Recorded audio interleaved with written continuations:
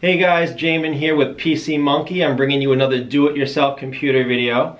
I have an Asus laptop here, and the problem I'm gonna show you how to fix in this video is if your battery is not charging. You could be getting a battery not installed error, battery not detected, 0% uh, available, plugged in, not charging is a common error. So any error like that where your battery is just not charging, I'll show you how to fix in this video. As a side note, keep in mind if you have any questions through this, if you see anything that I don't cover, check out the frequently asked questions below in the description. They could save you some time on getting an answer. If you don't see your question there, leave me a comment. I do try to get back to you guys a few times a day at least. So the first thing we're gonna try to fix this is what's known as a static discharge. Uh, many of you, if you've called into warranty repair lines in the past, this is the first thing they'll have you do to self-diagnose what's happening with your computer. Uh, so power down your computer, and I'll show you how to do that. So the first thing you're gonna wanna do is unplug your charger and then remove your battery. If you can't just easily slide your battery out to get it out, most likely you have an internal laptop battery. Uh, check out the video link below it in the description for an example on how to access an internal battery. If you're uncomfortable opening your computer up, the best thing you can do is look for a teardown or disassembly video on your exact model computer. That'll tell you step by step how to open it up and get into it. It'll limit your chances of damaging anything when you go in. If for some reason you cannot find a teardown video on your exact model, uh, leave me a message. I may be able to find one for you, or I may be able to walk you through how to get into your computer. After your computer's powered down and it's lost the charger and the battery, we're gonna hold down your power button for one minute. After holding down your power button for a minute, you can put your battery back in and your charger back in. After doing that to your computer, try turning it back on, see if those errors are still there, see if your battery is still not charging. If it's still not charging, we're gonna double check your charger at this point. Your charger, if you flip it over, will have a bunch of statistics and labels on it. It'll have a volt rating and an amp rating.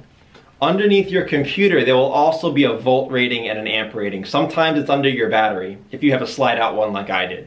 Make sure the volt rating and amp rating of your charger matches the volt and amp rating of your laptop. If the volts and amps do not match what your laptop needs, this could be your issue. If it's too low, you could be underperforming your computer, and if it's too high, you could be damaging your computer. So either way, that could be giving you your warning, that could be why your battery is not charging. If you find your charger is rated correctly and you want to make doubly sure that even though it says it's rated correctly, it's acting healthy, there'll be a video link below in the description on how to test your charger to make sure that what it's putting out is what it says it should be putting out. So after we've tried a static discharge and after we've made sure the charger is both rated correctly and healthy, now I'm going to try to update all your drivers. Make sure all your updates are processed. That could be an issue.